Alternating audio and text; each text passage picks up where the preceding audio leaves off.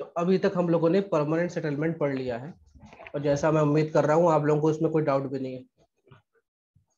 तो आज हम शुरू कर रहे हैं रैयतवारी सिस्टम हमने देखा था जो परमानेंट सेटलमेंट था परमानेंट सेटलमेंट ये बंगाल में चालू था। जब भी मैं बंगाल कहूँ तो बाय डिफ़ॉल्ट आप समझिएगा बंगाल, बिहार और उड़ीसा। ठीक है? यानी ये ये कहें कि भारत के ये वाला जो हिस्सा है, ईस्टर्न हिस्सा, यहाँ पे चल रहा था परमानेंट सेटलमेंट अब भारत का जो दक्षिणी हिस्सा था सदर्न हिस्सा, जो दक्षिणी हिस्सा है, यहाँ भी तो लोग किसान है, यहाँ भी इनके पास ज़मीन है, यहाँ से भी टैक्स लेना है, और हम देख रहे हैं जो इनका दक्षिणी हिस्सा है, यहाँ पे इनका हेडक्वार्टर है, वो है मद्रास हेडक्वार्टर और इधर बॉम्बे वाला बैठा हुआ है। तो यहाँ भी बहुत बड़े एरिया पे ईस्ट इंडिया कंपनी का शासन चल रहा है, और इनको यहाँ भी कुछ ना कुछ करना था कि जिससे हमारा जो रेवेन्यू का जो टैक्स है, वो फिक्स हो जाए, उसका फ्री फ्लो बना रहे, इधर से भी हमें पैसा प्राप्त हो, क्योंकि ऐसा नहीं है कि सिर्फ़ बंगाल ही बड़ा फर्टाइल एरिया है। इधर भी हम देखेंगे तो Godavari, Krishna, Kaveri, Pennar Irrawaddy Irrawaddy sorry कहता हूँ, इरोलू, तेल, इब, महानदी, ये सब बहुत बड़ी बड़ी नदियाँ हैं यहाँ पे, जो काफ़ी फर्टाइल प्लेन बनाती हैं। बस दिक्कत ये है कि जिस तरह हमने बंगाल में देखा था तो वहाँ पे जो लैंड था, जो ज़मीन थी, वो बहुत बड़ी होती थी। यानी यहाँ पे जो बंगाल में जो ज़मीन का टुकड़ा है, वो बहुत बड़ा होता था, क्योंकि एरिया बहुत बड़ा था। तो एक एक किसान के पास एक जमींदार के पास कई सैकड़ों एकड़ ज़मीन होती थी। लेकिन जैसे हम साउथ इंडिया की ओर आते हैं तो यहाँ पे आप देख ही रहे हैं कि इसका एरिया भी कम है। पेनिसुलर इंडिया है, इसके पास ज़मीन कम है। और यहाँ पे जो किसान था, जिसको हम क्या कह रहे हैं, यहाँ के किसान को कह रहे हैं रैयत। साउथ इंडिया में जो किसान थे, उनको कहा जाता था रैयत। तो यहाँ पे जो किसान था, उसके पास ज़मीन का टुकड़ा कम था। यानी ज़मीन का क्षेत्रफल इसके पास कम था, लेकिन ज़मीन यहाँ भी फर्टाइल थी। तो ये किया गया कि भाई, जो हमने परमानेंट सेटलमेंट का कॉन्सेप्ट यूज़ किया है बंगाल में, हम यहाँ यूज़ नहीं कर सकते, क्योंकि परमानेंट सेटलमेंट में हमने जमींदारों की पोस्ट को हेरिडेटरी बना दिया। हमने जमींदारों को काम दिया कि भैया आप जाइए टैक्स लेके आइए, और इसके एवज में आपको 11 परसेंट कमीशन मिलेगा। लेकिन यहाँ हम जमींदारी सिस्टम इसलिए यूज़ नहीं कर सकते क्योंकि यहाँ पे ज़मीन ज़्यादा नहीं थी। यहाँ पे ज़मीन लिमिटेड थी और ऐसा नहीं कि सारी ज़मीन फर्टाइल है। जैसे बंगाल का पूरा एरिया एक लाइन से फर्टाइल था। यहाँ पे गंगा, यमुना, ब्रह्मपुत्र नदियाँ हैं, बहुत बड़ा फर्टाइल प्लेन था। लेकिन यहाँ पे आपको पहाड़ मिल रहा है ईस्टर्न घाट मिल रहा है वेस्टर्न घाट्स मिल रहे हैं। यहाँ आपको आपको बहुत घने जंगल मिल रहे हैं। यहाँ पे जो मिट्टी है, वो लेटराइट मिट्टी मिल रही, कहीं पे लाल पीली मिट्टी मिल रही। और इधर वाली जो मिट्टी थी वो एलुवियल सॉइल थी, यानी जलोढ़ मिट्टी थी। जलोढ़ मिट्टी जो होती है, वो काफ़ी फर्टाइल होती है। तो यहाँ पे बहुत बड़ा एरिया था। यहाँ पे जो लैंड मास था, वो भी एक जैसा था। यहाँ पे मिट्टी भी एक जैसी थी। और यहाँ का जो क्लाइमेट था, वो भी लगभग एक जैसे था। तो यहाँ पे परमानेंट सेटलमेंट सफल रहा सक्सेसफुल रहा, या इन्होंने सोचा कि यहाँ पे हम जमींदारी को हम बिचौलिया बना के या मिडिलमैन बना के अपना काम कर सकते हैं। लेकिन यहाँ पे रेस्ट्रिक्शंस ये थे कि पहले चीज़ तो यहाँ का क्लाइमेट एक जैसा नहीं।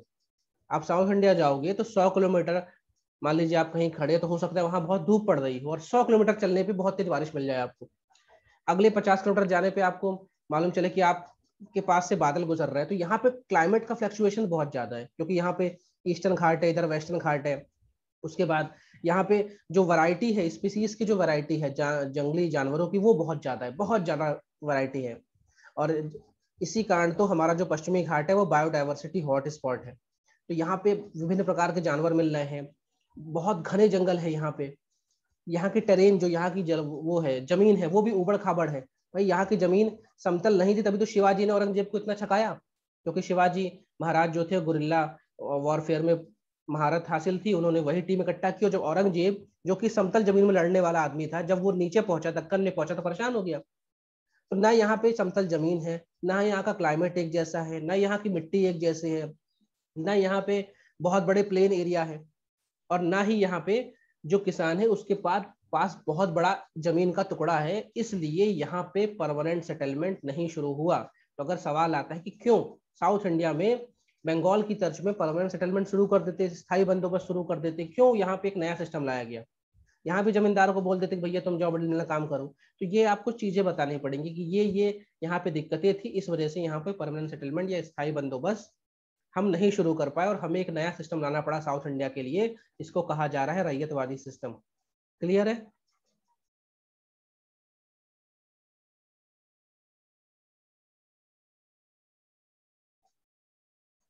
जी सर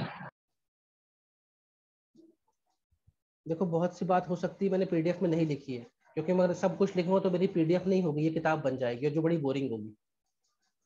तो जैसे मैंने ये नहीं यहाँ पे लिखा कि क्यों हमने रैयतवाड़ी को साउथ इंडिया में यूज़ किया। तो इसका मैंने रीज़न आपको इसलिए बता दिया। और एक चीज़ मैंने और की है, जो मैं रिकॉर्डिंग कर रहा हूँ, ये जो रिकॉर्डिंग आप हो रही है अभी तो मेरा एक चैनल है रोहित सिंह कुशवाहा के नाम से। मैं उसका चाहे तो लिंक शेयर कर दूँगा। मैं ये सारे जो वीडियो है ना, उसमें डालता जा रहा हूँ। तो कभी आपको बाद में पढ़ना हो तो उससे आप देख सकते हैं। ठीक है? तो मैं बाद में इसका लिंक शेयर कर दूँगा चैट में। ओके सर तो अभी तक हमने ये देखा कि क्यों क्यों रैयत वाली सिस्टम शुरू किया गया साउथ इंडिया में क्यों परमानेंट सेटलमेंट ही नहीं शुरू किया साउथ इंडिया में? क्योंकि जब एक बार कॉर्नवालिस ने दिमाग लगा लिया था तो क्यों पूरे देश में उसने नहीं शुरू किया? हम देख रहे हैं परमानेंट सेटलमेंट कहीं चलेगा, कहीं रैयतवाड़ी चलेगा, कहीं महालवाड़ी चलेगा। तो इसका रीजन ये है,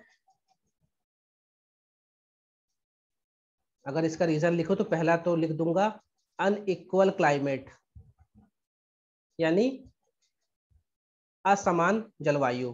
फिर दूसरा हो जाएगा अनइक्वल टेरेन यानी असमान भूमि। तीसरा हो जाएगा स्मॉल एरिया ऑफ़ लैंड ज़मीन यहाँ पे कम है। चौथा क्या है? लेस एरेबल लैंड यानी यहाँ पे जो भूमि है, उसमें बहुत कम भूमि है, जिसमें हम खेती कर सकते हैं। क्योंकि मैंने बताया यहाँ पहाड़ है, मैंने बताया यहाँ पे प्लेट्यू है। यहाँ पे घाटियाँ हैं तो यहाँ पे समतल ज़मीन नहीं है। यहाँ पे लिख सकते हैं अगला लैक ऑफ़ प्लेन एरिया यानी समतल भूमि का भाव जो कि हमें वहाँ मिल रहा है कहाँ पे? पश्चिम बंगाल वाले इलाके में, गंगा यमुना का। अभिनव ओझा कह रहे सर, साउथ में जमींदार भी नहीं थे, इसलिए भी परमानेंट नहीं, ऐसा, भाई, जमींदार नहीं थे तो पैदा कर देते। जमींदार तो हर जगह थे, भाई। क्या मद्रास का आदमी नहीं चाहेगा कि भाई जिस तरह बंगाल में उसके मान लीजिए किसी परिचित को ठेका मिला है और उसको कमीशन मिल रहा है, अब क्या मद्रास में अमीर लोग नहीं थे? कि मद्रास में इन्फ्लुएंशियल लोग नहीं थे? मद्रास वाले भी चाहते थे कि यार कुछ ऐसा सिस्टम हो जाए, हमें भी ठेका मिल जाए, हम भी, हमें भी कमीशन मिले। लेकिन ये इसलिए नहीं हो पाया कि ये सब रीजन है। जमींदार कौन है? जमींदार मिडिल मैन है। जमींदार वो लोग हैं जिनके पास पैसा पहले से है, जिनके पास बहुत बड़ी ज़मीन है, जिनके पास पहले से थोड़ा इसे कहते हैं दबंग अपने एरिया के दबंग आदमी थे मसल पावर वाले आदमी थे। तो ऐसे तो आदमी हर जगह मिलते हैं। हम साउथ इंडिया की मूवी देखते हैं तो हर मूवी में एक विलन दिखता है हमें, एक गुंडा दिखता है। तो गुंडों की कमी नहीं थी, बस दिक्कत ये थी कि ये सारी चीज़ें साउथ इंडिया में थी, इस वजह से हम यहाँ पे परमानेंट सेटलमेंट शुरू नहीं कर पाए। अगला लिख सकते हैं हाई बायोडाइवर्सिटी जैव विविधता बहुत ज़्यादा है यहाँ पे। जब जब हम जैव विविधता कह रहे हैं तो यहाँ पे हम पेड़ों की प्रजाति की बात भी कर रहे हैं और जानवरों की प्रजाति की बात कर रहे हैं। मालूम चल रहा है कि हम जंगल साफ़ करने गए, सामने से शेर ने हमला कर दिया, भालू ने हमला कर दिया सांप ने हमला कर दिया तो मुश्किल काम था। यहाँ पे अगर हम और सबसे ज़्यादा यहाँ पे high risk of natural calamities लिख सकते हैं। High risk of natural calamities यहाँ पे आप साउथ इंडिया में देखिए, बाढ़ आती है। साउथ इंडिया में भूकंप आ जाते हैं। है ना? और एक चीज़ और लिख सकते हैं यहाँ पे। आखिरी कि hybrid culture hybrid culture of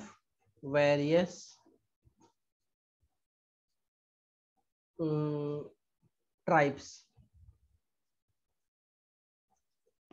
South India में आपको विभिन्न प्रकार की जनजातियाँ मिलेंगी। उनकी भाषा अलग है उनका पहनावा अलग है उनका खान पान। अब आप खुद सोचिए आप केरला की बात करते हैं। केरला में हम देखते हैं मलयालम बोली जाती है केरला में आ, उनके भगवान अलग है केरला में उनकी पद्धति अलग है केरला में पहनावा अलग है। कर्नाटका चले जाते हैं तो वहाँ कन्नड़ बोली जाती है वहाँ का डांस अलग है क्लासिकल डांस अलग है वहाँ के कल्चर साहित्य अलग है। वहाँ पे जो गेम्स होते हैं, वो तक अलग है। तो एक छोटे से एरिया में, जैसे अगर हम हम एमपी में से बात कर रहे हैं तो अगर एमपी को हम पूरा मिला देना तो आपका कर्नाटका, आपका तमिलनाडु, आपका केरला, ये सब मिल जाएँगे। तो एक एमपी में तो तीन राज्य समा रहे हैं। लेकिन हमारे एमपी में आप देखो, इतनी ज़्यादा हाइब्रिड कल्चर नहीं है। आप सतना में रहिए या इंदौर में रहिए, अगर आपको हिंदी बोलने आती तो बोल लेंगे। लेकिन आप आप केरला से सिर्फ़ सौ किलोमीटर की दूरी पर जाइए, आप तमिलनाडु पहुँच जाएँगे और आपको तमिल नहीं आती तो तमिलनाडु में आप बात नहीं कर पाएँगे तो इतना ज़्यादा दिक्कत है तो अंग्रेज़ों ने भी सोचा यार कि अगर हम कोई एक जमींदार को बोल देंगे, भाई, तेरे पास ये पचास गाँव है। हो सकता है पचास गाँव में चालीस गाँव में तमिल बोल रहे हो, दस गाँव में कन्नड़ बोल रहे हो, किसी और गाँव में तेलुगु बोल रहे हैं तो वो उसका दिमाग तो और घूम जाएगा जमींदार का। क्योंकि कि मैं जाऊँ तो किससे कैसे बात करूँ? फिर भाषा अलग, बोली अलग तो उनकी कल्चर अलग। हो सकता है मान लो केरल केरल गया या केरल वाले किसी गाँव में गया पैसा मांग रहे तो मालूम चल रहा है कि उनके यहाँ कोई विशेष त्यौहार मनाया जा रहा हो और उस त्यौहार के दौरान पैसा मांगना अशुभ होता है। कहीं और गया तो मालूम चला कि इस समय कोई विशेष त्यौहार मना, मनाया जा रहा है और इस इस समय अगर कोई जाता है तो उसको, उससे पैसा नहीं मांगा। मतलब कुछ भी मतलब फॉर एग्ज़ाम्पल इतना ज़्यादा हाइब्रिड कल्चर है, वो हम देख ही रहे साउथ इंडिया में इतने छोटे छोटे स्टेट इसीलिए बने हैं कि उनके कल्चर बहुत ज़्यादा है, इसलिए अंग्रेज़ों ने सोचा यार, zamindari system permanent settlement system नहीं हो सकता। और ये जो ट्राइब्स हैं ये बड़ी जैसे कहते हैं ना मरने मिटने को तैयार रहे यहाँ की ट्राइब्स आज तो सबसे ज़्यादा समृद्ध हमारे स्टेट है लेकिन ये काफ़ी ज़्यादा अपने कल्चर को लेकर बहुत ज़्यादा इंट्रोवर्ड है। इनकी अगर संस्कृति इनके कल्चर को आप छेड़ोगे तो दिक्कत हो जाएगी। और दूसरी बात चावड़कोर का एरिया था।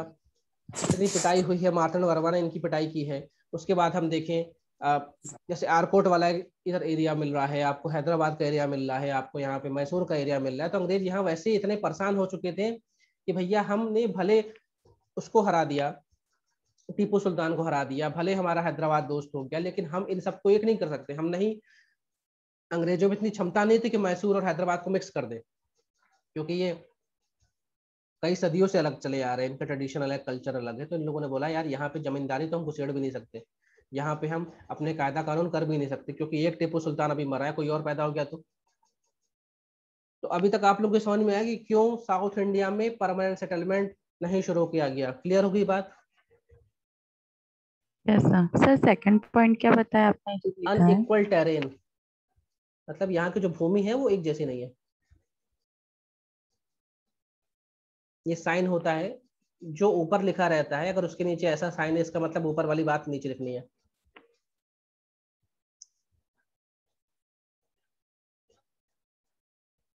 क्लियर हुई बात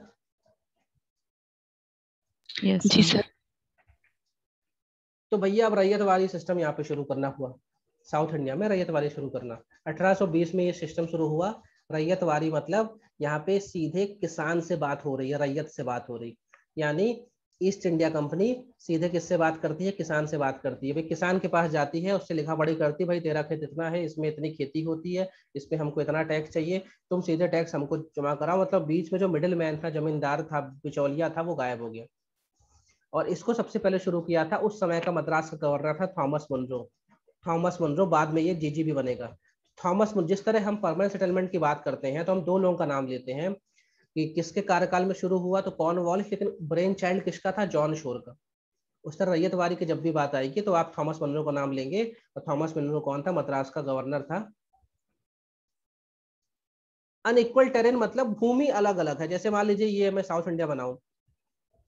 तो भैया, चलो इधर से चलते हैं, ये महाराष्ट्र है। महाराष्ट्र में हम गए तो कहीं हमें समतल ज़मीन मिली। फिर हमें पहाड़ी मिल गई। फिर समतल ज़मीन मिली। फिर हमें घाटी मिल गई। फिर कहीं बहुत बड़े जंगल मिल गए। इसे कहते हैं अनइक्वल टेरेन वहीं अगर इधर बंगाल की बात करूँ, अगर मैं यूपी से जा रहा हूँ, यूपी से निकला, फिर बिहार निकला, फिर बंगाल गया ना तो मुझे बीच में पहाड़ नहीं मिलेंगे। और मिलेंगे भी तो एक दो मिलेंगे, लेकिन यहाँ पे हो सकता है हर बीस किलोमीटर में एक बड़ा सा पहाड़ आ जाए, फिर घाटी आ जाए। ठीक है? इसे कहते हैं अनइक्वल टेरेन कि एक जैसी भूमि ना होना। अगर प्लेन है तो प्लेन है, पहाड़ है तो पहाड़ है। जैसे भाई हम हिमालय गए, हम हिमालय की यात्रा में गए तुम्हें पता है यहाँ पहाड़ ही मिलेंगे। लेकिन यहाँ पे आप महाराष्ट्र जा रहे हैं, आप कर्नाटका जा रहे हैं, आप केरला जा रहे हैं तो कहीं आपको पहाड़ मिलेगा, कहीं आपको समतल मिलेगा, कहीं आपको गहराई मिलेगी, कहीं आपको जिसे कहते हैं घाटियाँ मिलेंगी, कहीं आपको पास मिलेंगे, ये सब चीज़ें। इसे कहते हैं अनइक्वल टेरेन हाँ लिख सकते हो लैंड लैंड का अच्छा शब्द है टेरेन ठीक है टेरेन थोड़ा हैवी वर्ड हो गया, लेकिन इंग्लिश मीडियम वालों को लैंड की जगह टेरेन लिखना चाहिए। खैर, जो चाहिए वो लिखो, जो समझ में आए वो लिखो। मार्क्स मिलता है हर चीज़ में। अगर आपके पास नॉलेज है तो आपको मार्क्स मिलेगा। तो इसको शुरू किया थॉमस मनरो ने, वो समय मद्रास का गवर्नर था और ये सिस्टम में मिडिल मैन को हमने हटा दिया। तो अगर आपसे एक लाइन में पूछा जाए कि डिफरेंस बताओ रैयतवाड़ी और स्थायी बंदोबस्त में तो आप सिंपल से बोलोगे, रैयतवाड़ी में ईस्ट इंडिया कंपनी सीधे डील कर रही है रैयत यानी किसान से और स्थायी बंदोबस्त परमानेंट सेटलमेंट पे ईस्ट इंडिया कंपनी किसानों से डायरेक्ट डील नहीं कर रही। बीच में एक मिडिल मैन है, इसको कहा गया जमींदार। ये है बेसिक डिफरेंस क्लियर और इसको पहली बार शुरू किया था बारह महल ज़िले में। बारह महल जिला आज कर्नाटका में आता है। चाहो तो ये लाइन याद रखो, चाहो तो भूल जाओ, कोई दिक्कत नहीं। इतना अंदर नहीं पूछेगा। ये जो व्यक्ति है, इसका नाम है थॉमस मनरो। ठीक है? तो रैयतवारी में जो रैयत शब्द है, वो किसान है और इसके नाम से क्लियर हो रहा है कि सीधे किसानों से बात की जा रही है। जब मद्रास में शुरू हुआ, अब शुरू कैसे हुआ होगा? भैया ईस्ट इंडिया कंपनी के ऑफिसर गए होंगे, किसान किसान के खेत में गए होंगे और वहाँ पर उन्होंने सर्वे किया होगा, भैया, बताओ। उस हिसाब से तय कर लिया होगा, भाई तुम्हें कितना टैक्स देना है? तो शुरू में ये मद्रास में हुआ। उसके बाद ये बॉम्बे में भी हुआ। तो जब मैं बॉम्बे बोल रहा हूँ तो बॉम्बे शहर की बात कर रहा हूँ, बॉम्बे सिटी की बात कर रहा हूँ। आप पूरी बॉम्बे प्रेसिडेंसी मत समझ लेना। बॉम्बे प्रेसिडेंसी की अगर मैं बात करूँगा तो ये है बॉम्बे। बॉम्बे प्रेसिडेंसी का एरिया पाकिस्तान तक जा रहा था। लेकिन जब यहाँ पे लिखा गया सिर्फ़ बॉम्बे, इसका मतलब रैयतवादी जो बॉम्बे शहर था, वहाँ भी शुरू हुआ था। बॉम्बे प्रेसिडेंसी नहीं कंफ्यूज नहीं होना आपको। असम के कुछ हिस्से में शुरू हुआ था, असम के। अब आप बोलेंगे, सर कैसा कर रहे हो आप? आपने बोला इधर चल रहा है पीसी पीएस चल रहा है और आसाम उसी का एरिया है। अब आप बोल रहे हो कि यहाँ रैयतवादी शुरू हो गया। यहाँ पे आपने बोला रैयतवादी शुरू हो गया तो ऐसे कैसे? यहाँ तो पीएस चलना चाहिए। लेकिन इसका जवाब मैंने पाँच मिनट पहले बताया आप लोग कोई मुझे इसका जवाब देगा कि असम में रैयतवादी क्यों शुरू हुआ?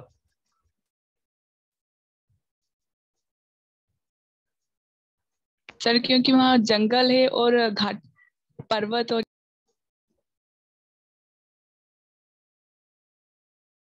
आगे बोलो।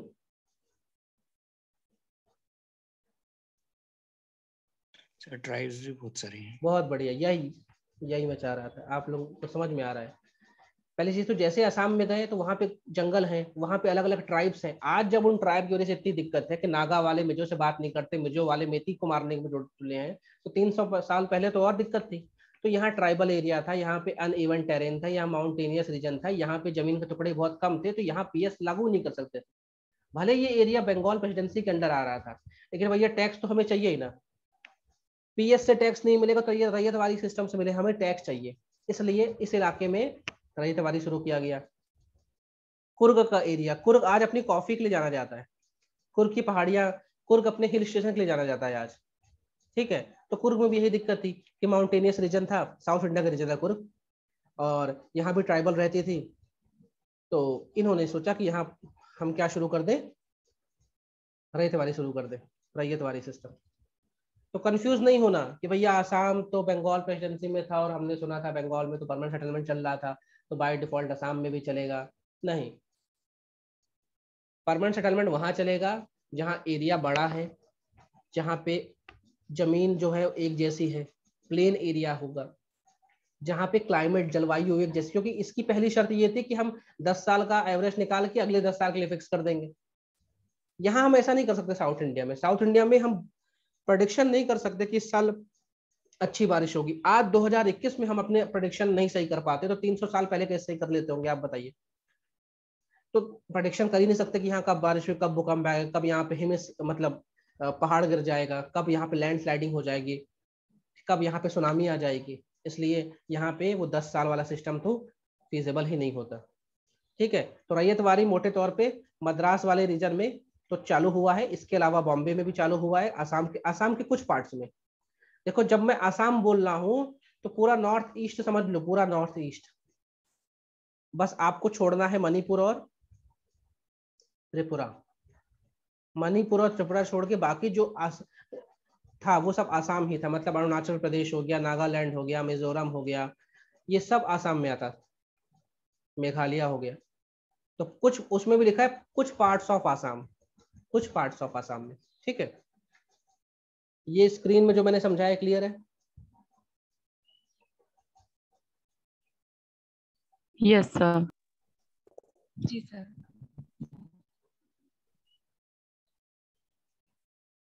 अब जब ईस्ट इंडिया कंपनी सीधे किसान से बात कर रही है इसका मतलब यहाँ का जो कल्टीवेटर है यहाँ का किसान है वो बताइए भूमि का मालिक होगा कि भूमि का किराएदार होगा?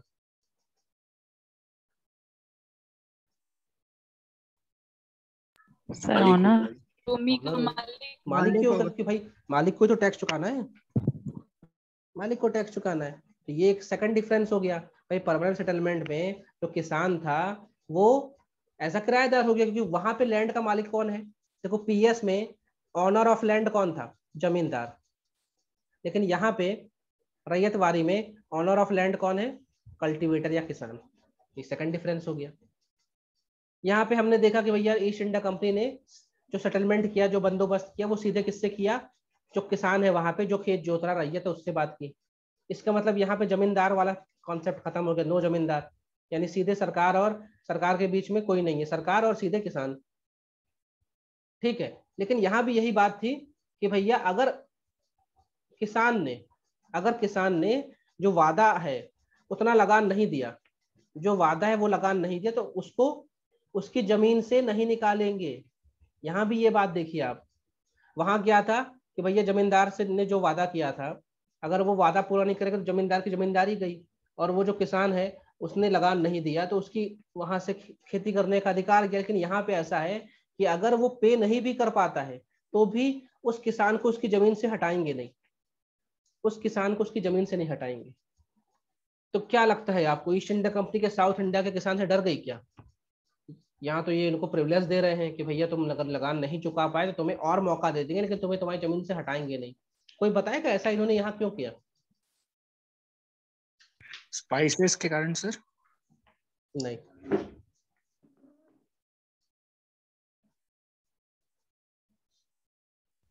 रेवेन्यू कलेक्ट करने के लिए। यहाँ वही बात तो कही जा रही है कि अगर आप रेवेन्यू नहीं भी दे पाएँगे तो भी आपकी ज़मीन नहीं छीनेंगे। तो ऐसे तो कोई भी किसान पैसा नहीं देगा। और सोचिए। Sir land difference climate climate exam देता है तो कभी हुआ भी और कभी नहीं भी हुई फ़सल इसलिए।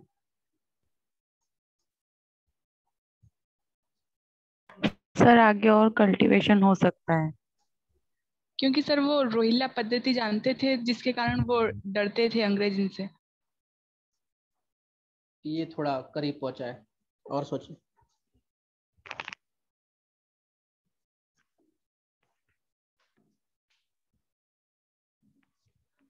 सर, ये लोग शायद फिर एक्सेप्ट नहीं करते हैं रोड वाली जो सिस्टम है उसको। अगर ईस्ट इंडिया कंपनी बाउंड करती इनको।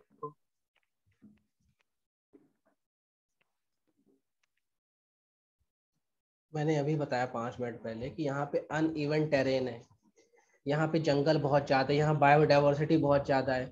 अंग्रेज़ कितनी भी, कितना भी बुद्धि लगा ले, उस समय जीपीएस नहीं था। अंग्रेज़ों को पता था, जितना चुपचाप यहाँ से मिल रहा है, उतना लेते चलो। अगर इनसे अड़ेंगे तो ये है ट्राइबल लोग।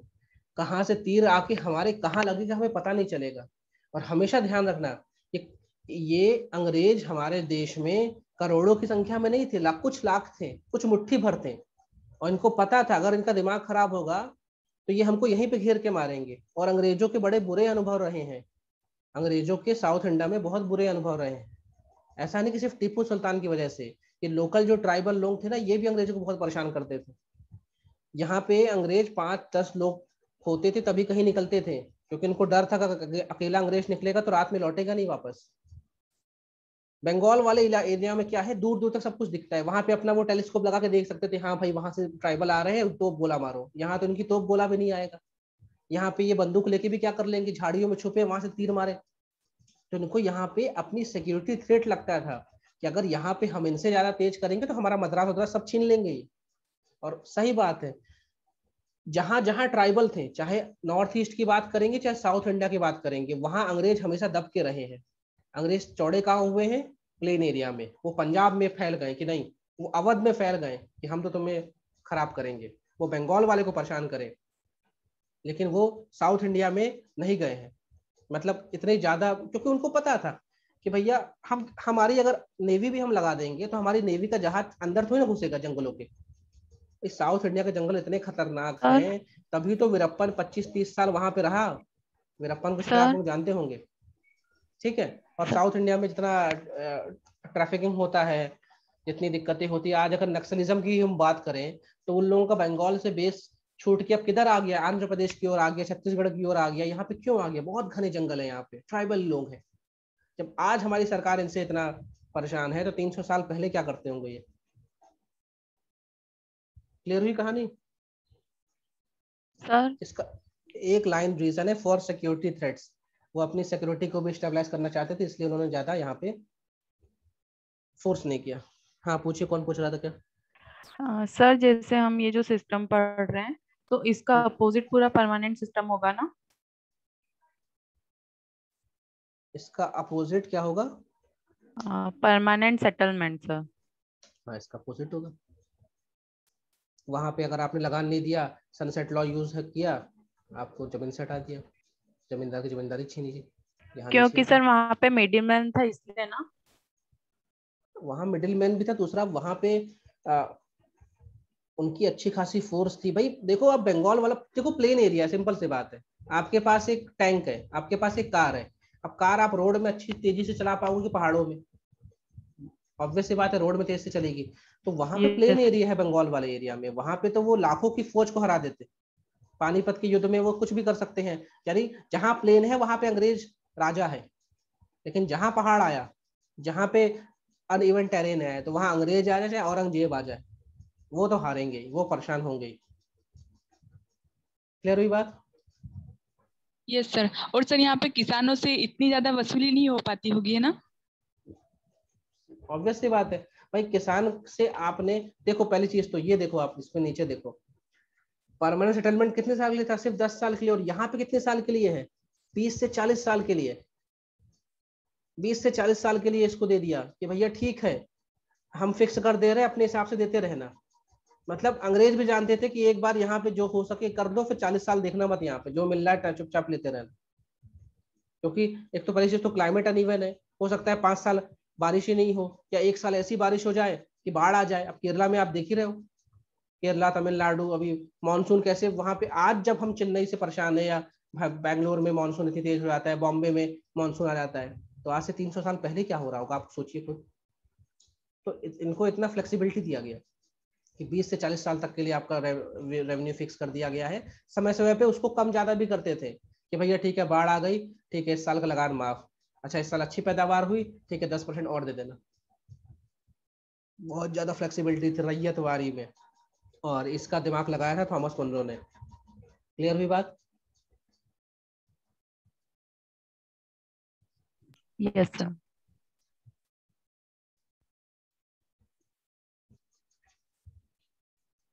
इस सिस्टम में इन्होंने क्या किया था? जो सूखा ज़मीन है मतलब जहाँ पे पानी की अच्छी सिंचाई जैसे मान लीजिए ये नदी जा रही है।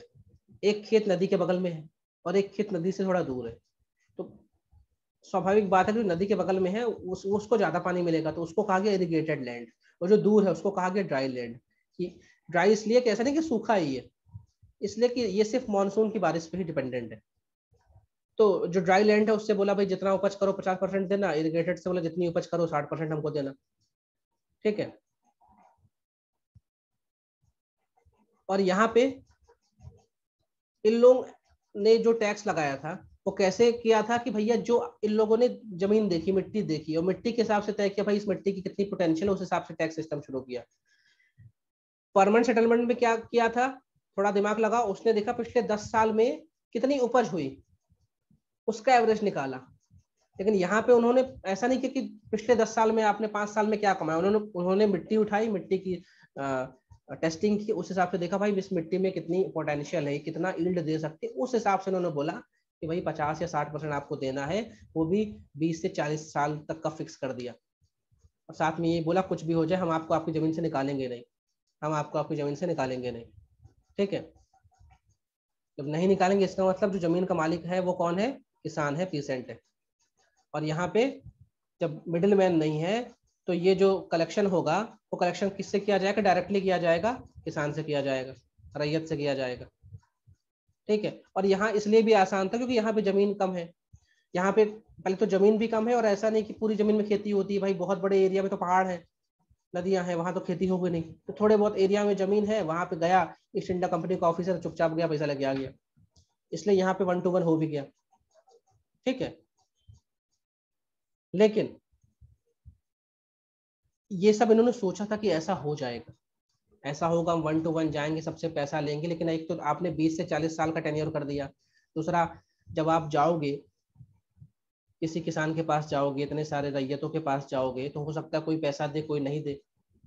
और आपने ये भी कहा कि भाई, हम कुछ भी हो जाए तो मैं तुम्हारी ज़मीन से छीनेंगे नहीं। तो ये हुआ अल्टीमेटली कि ईस्ट इंडिया कंपनी को ये सिस्टम फेल हो गया, क्योंकि आप किसान को उसकी किसानी से हटा भी नहीं रहे हो। आपको ये भी डर है कि कहीं हम ज़्यादा स्ट्रिक्ट हो जाएँगे तो हमारी जो एक्सिस्टेंस है, उस पर बात आ जाएगी। कहीं ये हमको न घेर के मार दे, जला दे, हमारी कोठी जला दे, हमको मार दे, हमारी बैलगाड़ी में आग लगा दे।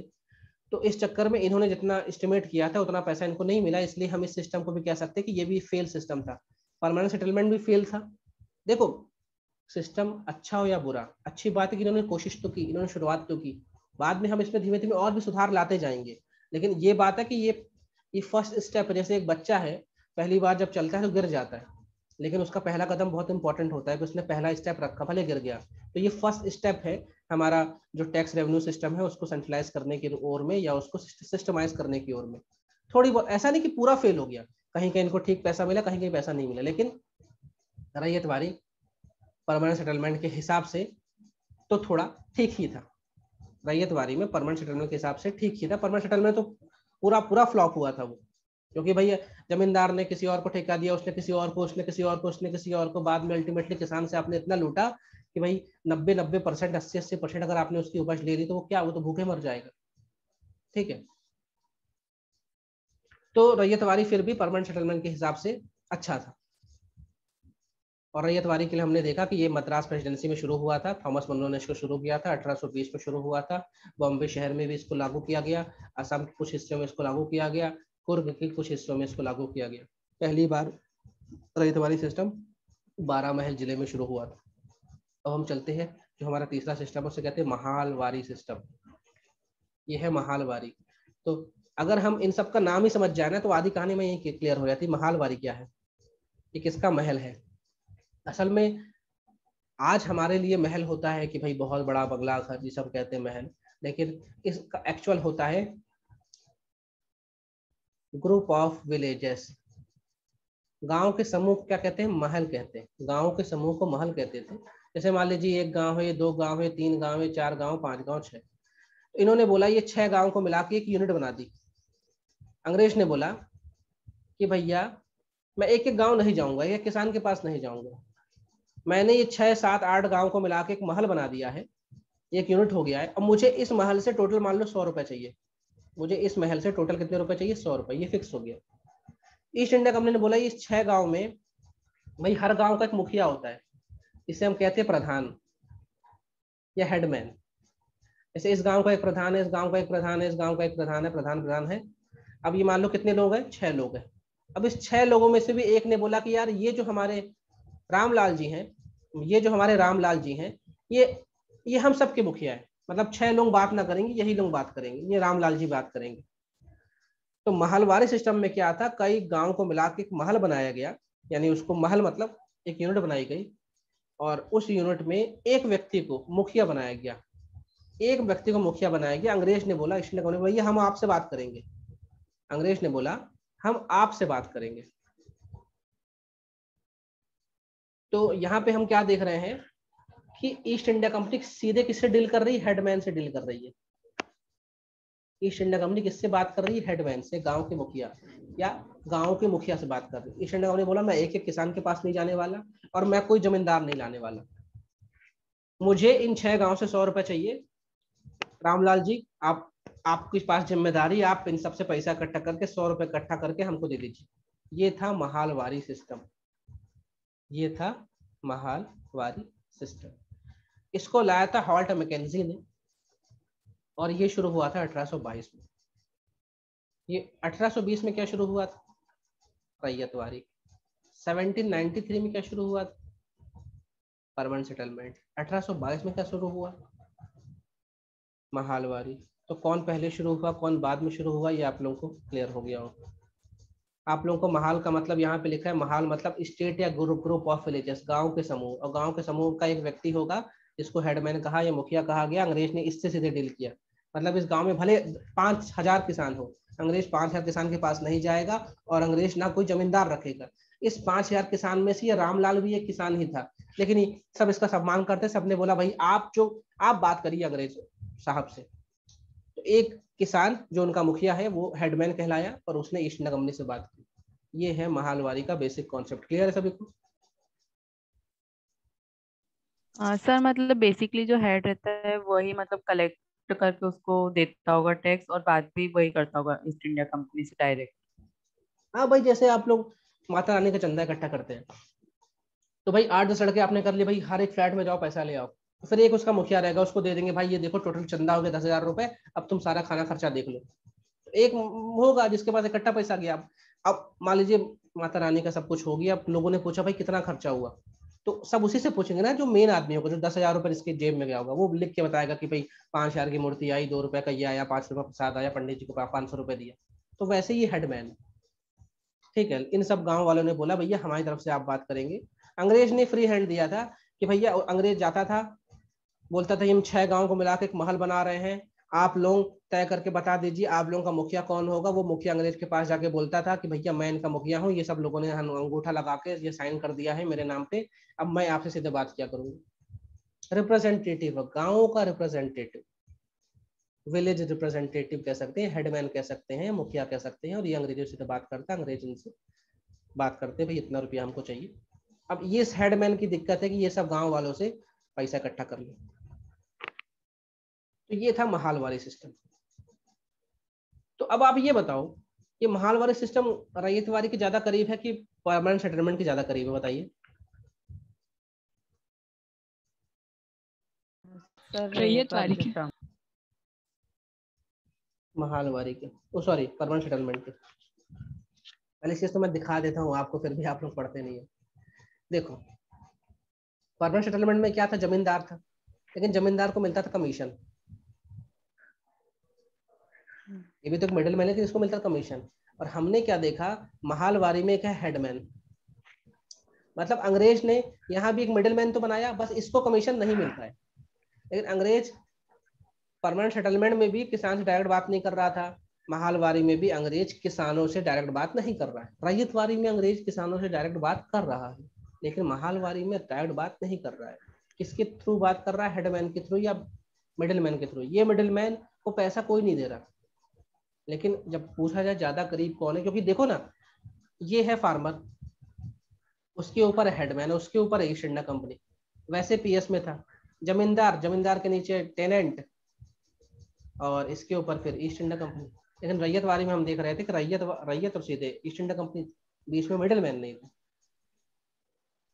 परमानेंट सेटलमेंट का मिडिल मैन को पैसा मिलता था। महालवारी की मिडिल मैन को पैसा नहीं मिलता उस काम के लिए। उसको सम्मान मिल रहा है, उसको आठ दस गाँव में सम्मान मिल रहा है कि भैया ये हमारे मुखिया साहब है, ये हमारे हेडमैन साहब है। जैसे तारक मेहता के उल्टा चश्मा में बेड़े सेक्रेटरी है सोसाइटी का तो उसकी पेमेंट थोड़ी ना है, लेकिन वो कितना खुश होता है कि मैं कौन सा, एक एक लाख सेक्रेटरी बोलता रहता है अपनी कॉलर कॉलर को ऊँचा करके, उसको सम्मान मिलता है, उसको गर्व महसूस होता है, बस ऐसे ही। आदित्य जोशी कह रहे सर इन सब में टैक्स सिर्फ़ उनसे लिया जाता है जिनके पास लैंड है या कुछ लोग ऐसे होंगे जिनके पास लैंड होगी ही नहीं तो उनसे लिया जा रहा है तो टैक्स नहीं जिसके पास ज़मीन है या जो ज़मीन में खेती कर रहा है, उससे टैक्स लिया जाएगा। भाई जिसने ज़मीन में हल चलाया, जिसने लैंड को टिल किया टिल मतलब होता है हल चलाना, और जो हल चला रहा है उसे कहते हैं टिलर जो टिलर है, वही टैक्स देगा। जो ज़मीन को जोत रहा है वो टैक्स देगा। अब अगर मान लीजिए खेत मेरा है लेकिन मैंने दो मजदूर लगाए हैं तो मजदूर थोड़े टैक्स देंगे? मुझे टैक्स देना पड़ेगा उसकी उपज का टैक्स मैं दूँगा लगान मैं दूँगा जमींदार को। क्लियर हुआ आदित्य? जी सर। क्योंकि इसका नाम ही है ना लैंड रिफॉर्म्स भूमि सुधार। तो जो भूमि का मालिक होगा जो भूमि में खेती कर रहा होगा वो देगा। लैंडलेस लेबरर्स नहीं इसमें कुछ देंगे पैसा। तो ये है महालवारी सिस्टम अब महालवारी सिस्टम लागू कहाँ हुआ? ठीक है, ये सारी कहानी देख लो। जो हेडमैन का मैंने नाम दिया था हेडमैन को एक और शब्द दिया गया, लंबरदार। लंबरदार मतलब हेडमैन लंबरदार, ठीक है? और यही इनके पास रेस्पॉन्सिबिलिटी है कि भैया आप सबसे पैसा इकट्ठा करिए और हमको दीजिए। ठीक है। शुरुआत में तो अंग्रेज़ों ने पता नहीं क्या भाँग खा के बैठे थे, पंचानवे परसेंट टैक्स मांग लिया सौ सौ रुपये कमा रहे तो पंचानवे रुपए हमको तो बाद में लोगों ने साठ परसेंट कर दिया तो ये अगर ये स्लैब आपको याद नहीं तो कोई बात नहीं। अगर आपको इनिशियल पता है कि भैया क्या है, अगर आपसे आ गया कि डिफरेंस बताइए, ये पीएस के बारे में बताइए, रैयतवारी और महालवारी तो अगर आप डिफरेंस पता है आपको तो आपको पूरे मार्क्स मिलेंगे। ये सब नहीं पता है कितना लिया गया तो कोई दिक्कत नहीं, क्योंकि ये कम ज़्यादा हो रहा था। जो शेयर था वो कम ज़्यादा हो रहा था। इसलिए मैं ये तो सलाह है कि आप इनको याद भी ना करो तो भी चलेगा। फालतू में कंफ्यूजन होगा। तो लंबरदार ही को हम कह रहे हैं हेडमैन कह रहे हैं मुखिया कह रहे हैं लंबरदार कह रहे हैं। ठीक है? तो बाद में इसमें सुधार किया था कि महालवारी सिस्टम में विलियम बैंटिक ने सुधार किया था। विलियम बैंटिक जो है आ, ये व्यक्ति सती प्रथा के नाम पे आप इसको ध्यान रखेंगे। महालवाली का जो रीजन है, वो पंजाब का एरिया था, अवध का एरिया आगरा का एरिया कुछ हिस्सा उड़ीसा का और कुछ हिस्सा मध्य प्रदेश का। यहाँ पे महालवारी शुरू हुआ था। जैसे अगर ये मैं भारत की बात, है ना? अब मैं थोड़ा सा समझाता हूँ आपको। ये है पीएस वाला एरिया ये मोटे तौर पे आप लिख लीजिए रैयतवारी।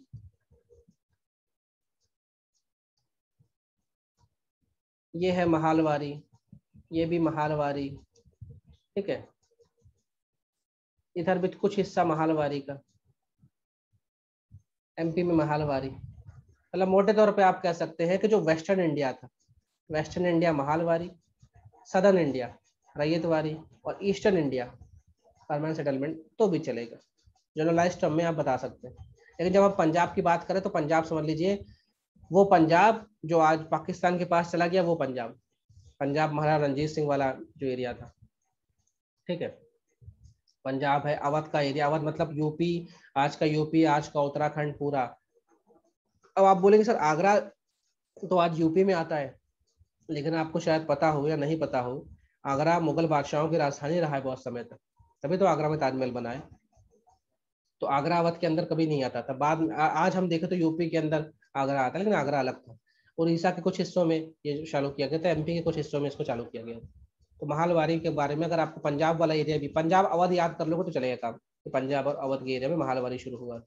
विलियम बेंटिक ने इसमें कुछ सुधार किए थे। विलियम बेंटिक की कहानी हम बाद में देखेंगे। ये आदमी का जब भी नाम आए तो इसके माथे में लिख देना सती प्रथा को इसने बंद करवाया सती प्रथा को इसने रोक लगवाई थी और इसमें इनका पूरा सहयोग दिया था, राजा राम मोहन रॉय ने। तो इनके बारे में तो अच्छे से पढ़ेंगे, इन्होंने बहुत अच्छा काम किया विलियम बेंटिक साहब ने। और विलियम बेंटिक बंगाल का आखिरी गवर्नर जनरल रहेगा, क्योंकि इसके ही नाम, जब ये आएगा ना, तब इसका पोस्ट हो जाएगा गवर्नर जनरल ऑफ़ इंडिया। ठीक है तो जब ये आएगा तब देखेंगे। मतलब इसने कुछ सुधार करा, लेकिन जब भी आप महालवाड़ी का नाम लिखेंगे तो आप किसका नाम रखेंगे? हॉल्ट मैकेंजी का नाम याद रखिएगा, हॉल्ट मैकेंजी रिवाइज कर लेते हैं परमानेंट सेटलमेंट की जब भी बात आएगी तो कॉर्नवालिस और जॉन शोर? महालवारी की जब भी बात आएगी तो इसका नाम आएगा? थॉमस मनरो का। सॉरी रैयतवारी की जब भी बात आएगी तो आएगा थॉमस मनरो का नाम महालवारी की जब भी बात आएगी तो आएगा हॉल्ट मैकेजी का नाम। इनके नाम याद रखिएगा। ये मैच द फॉलोइंग में पूछ सकता है। ईयर याद रखिएगा महालवारी का जो ईयर है वो अठारह है। ठीक है? और क्या नाम है उसका?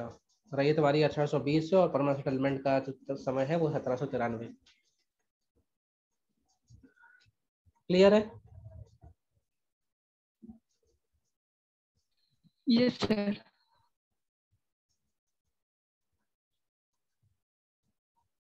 हाँ महालवारी में भी अगर आपने लगान नहीं चुकाया है तो आपको बेदखली की जाती थी लेकिन तुरंत नहीं किया था देखो, सबसे ज़्यादा क्रूवेल थे, सबसे ज़्यादा स्ट्रिक्ट थे परमानेंट सेटलमेंट में कि सूरज डूबने तक नहीं आया, पैसा तो गए।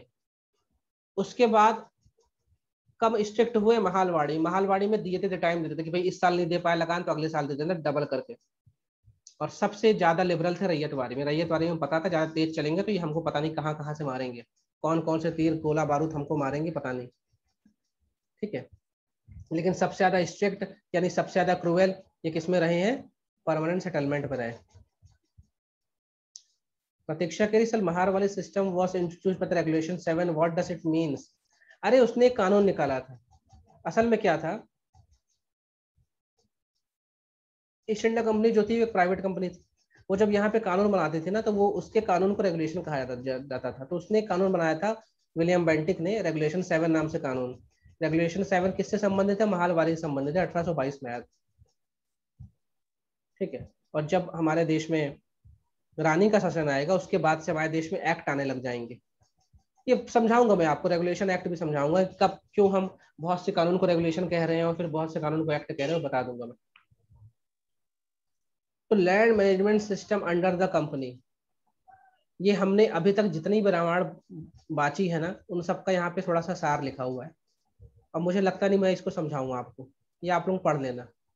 ठीक है, इसमें यही सब लिखा हुआ है कि भैया ईस्ट इंडिया कंपनी का जो लैंड रेवेन्यू सिस्टम था, उसमें बहुत ज़्यादा टैक्स मांगते थे। और कलेक्शन जब इकट्ठा करने जाते थे ना तो भी बहुत कड़ाई करते थे। वो सुनते ही नहीं थे कि भैया, तुम्हारी ज़मीन खराब है, तुम्हारे घर में डाका डल गया, तुम्हारे घर, तुम्हारे यहाँ खेती नहीं हुई, फ़सल नहीं हुई, भूकंप, बाकी कुछ नहीं सुनते थे। उनको बस पैसा चाहिए था। और काफ़ी करप्शन भी हो रहा था। यही सब गुस्सा। अगर क्रांति में, अठारह संतानवे क्रांति में किसान लड़ा है तो क्यों लड़ा है? आपने इतना उसको परेशान कर लिया है ये टैक्स सिस्टम में। किसान बोला कि भैया आपको करो या मरो। सैनिक भी लड़ेगा, किसान भी लड़ेगा, जमींदार भी लड़ेगा क्रांति में। ठीक है, जो जो हैंडीक्राफ्ट बनाने वाले वो भी लड़ेंगे, जो आपके जो म्यूजिशियंस है वो भी उसमें लड़ेंगे क्राफ्टमैन भी उसमें लड़ेंगे, सबको लड़ेंगे, सबको अंग्रेज़ों ने परेशान किया समय के साथ। अंग्रेज़ के आने से पहले भारत में ज़मीन बिकती नहीं थी, क्योंकि मैंने बताया ज़मीन को माता का दर्जा मिला था अंग्रेज़ ने इस ज़मीन को क्या बना दिया? सेलेबल कमोडिटी सेलेबल मतलब बिकने वाली चीज़, वस्तु हो गई, बिकने वाली। गिरवी रखने वाली वस्तु हो गई। ऑक्शन कर देते थे बिना, अगर फार्मर पैसा नहीं दिए तो ऑक्शन कर देते बेच देते थे, नीलामी कर देते थे, ये सब बेवकूफ़ी चल रही थी इनकी। इसी वजह से इनकी पटाई भी हुई अठारह की क्रांति में। अठारह की क्रांति को अंग्रेज़ क्या बोलते तो सैनिक विद्रोह था। तो ऐसा नहीं कि इसमें सिर्फ़ सिर्फ़ सैनिक ही लड़े हैं। ये जो सैनिक थे ना, सैनिक से पहले ये किसान थे बेचारे। लेकिन जब इतना ज़्यादा इनसे कर्जा लेने लगे तो किसान की किसानी छूट गई। मान लो कोई किसान ने वो लगान नहीं दे पाया तो उसकी ज़मीन चली गई। ज़मीन चली गई तो कब तक भूखा मरेगा? तो वो किसान चला गया सेना में भर्ती होने। तो सेना में भर्ती होने गया तो सेना का जो गुस्सा था वो तो उसमें था ही, और उसके उसके साथ जो हुआ है किसान रूपी, वो भी उसका गुस्सा था। तो जब एक्चुअल में वो सैनिक, वर्दी सैनिक की पहले के मन से तो किसान था ना, उसके साथ जो बुरा बर्ताव हुआ है, जो उसकी ज़मीन गई है, जो उसकी इज़्ज़त आबरू गई थी वो सब गुस्सा इनका निकलेगा अठारह क्रांति में। जब ये क्रांति पढ़ाएँगे तो हम उसको अच्छे से बताएँगे। लेकिन ये सारा जो कह रहे हैं ना, जैसा बोगे वैसा काटोगे। तो इन लोगों ने इतने बुराइयाँ बोई हैं, इतनी इन्होंने यहाँ पे एक्सेसिव जिसे कहते हैं क्रुएल्टी की है। इसी का नतीजा रहेगा अठारह संतावन की क्रांति। इसके पहले भी क्रांति होंगी, लेकिन ये सब इसके रिज़ल्ट है। कोई भी क्रांति, कोई भी लड़ाई ना एक दिन में नहीं होती। ऐसा नहीं होता कि एक दिन मंगल पांडे का मन किया, उसने गोली चला दी, उसके बाद लोगों ने दस मई को क्रांति शुरू कर दी, ऐसा नहीं। उसका गुस्सा, उसकी आग दस, बीस, पचास साल पहले से लगी आ रही है। कहते ना, सब्र का बाँध टूट गया, पाप का घड़ा भर गया, अब तो वो टूटेगा ही। तब। तो ये हुआ आपका लैंड रिफॉर्म्स को लेकर ईस्ट इंडिया कंपनी के लैंड रिफॉर्म को लेकर पूरा ये आपकी पीडीएफ कंप्लीट हो गई है। अच्छे से पढ़ो इसको, कई बार पढ़ो, अपने हिसाब से नोट्स बनाओ। क्वेश्चंस देखो। क्वेश्चन तो वैसे मैं कराऊँगा, आपको भी मिलते हैं। जैसे किसी ने अभी मुझे एक क्वेश्चन कल शेयर किया था जमींदार और जागीरदार में। डिफरेंस आज यूपीएससी का क्वेश्चन था। तो वो क्वेश्चन देखिए अब यूपीएससी में पूछ लिया। अगर आपको उसका अंतर पता है तो आप उसको सही में अटेम्प्ट कर पाएँगे। और उसका ऑप्शन था कि ना एक है ना दो ए, ए है ना बी है। मतलब उसके दोनों जो स्टेटमेंट थे वो गलत थे। ठीक है? तो आज की क्लास में कोई doubt no sir sir act of settlement क्या था? ऑन वॉलेज सॉरी एक्ट ऑफ़ सेटलमेंट ये सत्रह सौ इक्यासी में आया था। और जो सुप्रीम कोर्ट के पावर थे और जो गवर्नर जनरल के पावर थे, उसके बीच में बंटवारा था कि भाई तेरा क्या काम रहेगा और तुम्हारा क्या काम रहेगा। ठीक है? ओके सर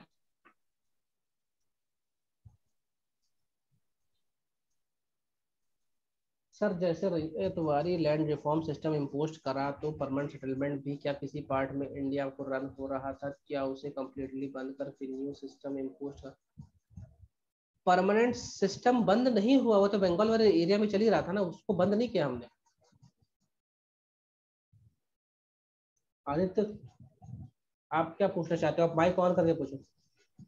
सर मैं ये पूछना चाह रहा था, सर, जैसे रैयत वारी सिस्टम इम्पोज करा, ये कोई सा भी नया सिस्टम लाया गया तो सर, पुराना सिस्टम जब फेलियर हुआ, जब भी लाया गया तो सर, वो भी क्या उस टाइम पे रन हो रहा था किसी एरिया में पर्टिकुलर या दूसरी जगह इन्होंने नया सिस्टम लाया गया मतलब ये पूछ कब इन्होंने अपने कोई भी सिस्टम को पूरी तरह खत्म नहीं किया। जहाँ पे फेल हो रहा था, वहाँ से हटा के कुछ नए चेंजेस कर दिए, लेकिन रैयत वारी चाहे महाल वारी चाहे परमानेंट सेटलमेंट कभी खत्म नहीं होंगे। ऐसा नहीं होगा कि परमानेंट सेटलमेंट आया सेवनटीन नाइनटी थ्री में और ये खत्म हो गया सेवनटीन नाइनटी एट में ऐसा नहीं। किसी ना किसी रूप में वो चलते रहेंगे। क्योंकि इनको उससे पैसा मिल रहा है भले कम मिल रहा है दो रुपए का मिल तो रहा है पैसा।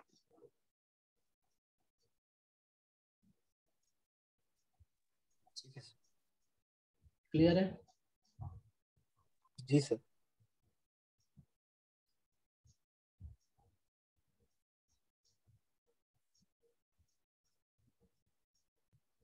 मैं आपको लिंक शेयर कर देता हूँ यूट्यूब वाले।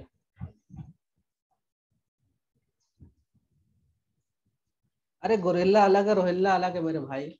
रोहिल्ला लोग होते थे, जो कि अवध के ऊपर वाला जो रीजन है, जो आज उत्तराखंड वाला एरिया है, वो है रोहिल्ला लोग। रोहिल्ला मुस्लिम लोग थे। इन लोगों ने अहमद शाह अब्दाली की सपोर्ट मदद की थी थर्ड बैटल ऑफ़ पानी मतलब गोरिल्ला एक तकनीक होती लड़ाई करने वाली, गोरिल्ला मतलब बंदरों जैसे कूद कूद लड़ना। और रोहिल्ला अलग चीज़ है। ठीक है शुभम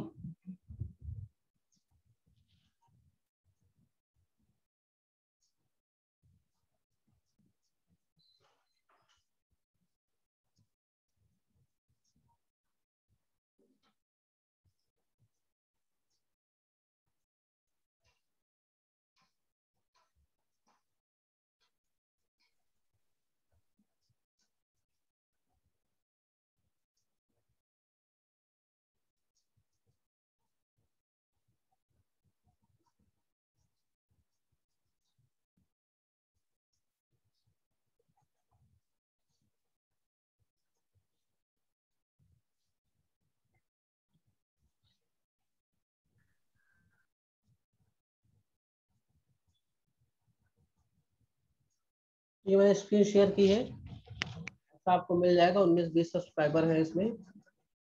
और ये सब वीडियो मैंने इसमें चढ़ा दिए देख लेना है ना? सब नहीं चढ़े लेकिन फिर भी चढ़ते जाएँगे आपको मिलते जाएँगे इसमें। ठीक है thank you thank you everyone thank you sir